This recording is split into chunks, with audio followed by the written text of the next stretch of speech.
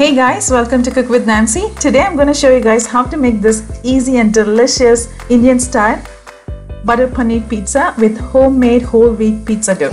If you're new to my channel, welcome. If you haven't subscribed, go and hit the subscribe button right now. That way you don't miss on upcoming videos.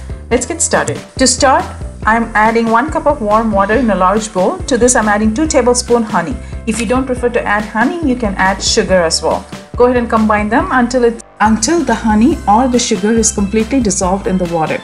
To this I'm going to add 2 and 1 quarter of a teaspoon active yeast. If you're using an instant yeast then you can skip the step resting for 15 minutes. Since I'm using active yeast I'm going to rest it for 15 minutes until it doubles in size. Something like this and to this I'm adding 2 and 1 third of a cup whole wheat flour. This is not a white whole wheat flour, it's a regular whole wheat flour. 1 teaspoon salt to this and go ahead and combine just gently to bring the dough and water together. To this I'm going to add 1 tablespoon of olive oil.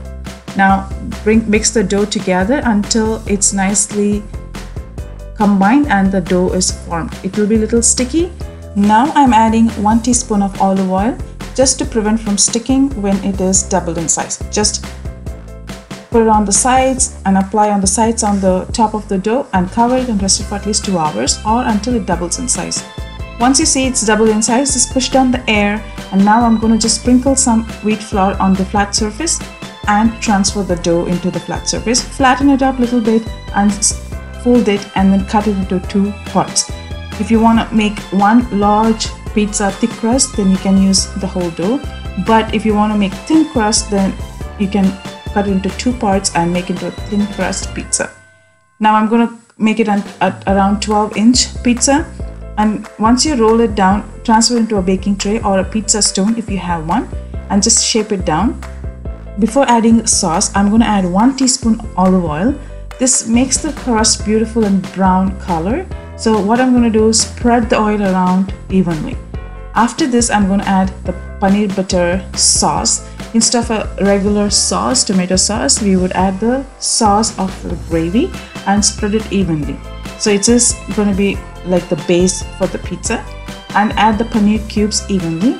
Again, when you add paneer cubes and the sauce together, it's kind of hard to evenly spread. So that's why I'm adding the sauce first and then paneer later.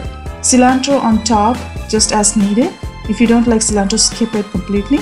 Mozzarella grated as needed and after this you can add some more paneer cubes on top and some red chili flakes or some kind of dry herbs if you prefer. I have put the link for butter paneer masala in my description box below. You can check it out. It's super easy and super simple to make. Now my oven is preheating at 400 degree. I'm going to bake this pizza at 400 for 12 to 14 minutes because it's a thin crust. If you're making a thick crust pizza, then you want to bake it around 16 minutes depending on your oven temperature.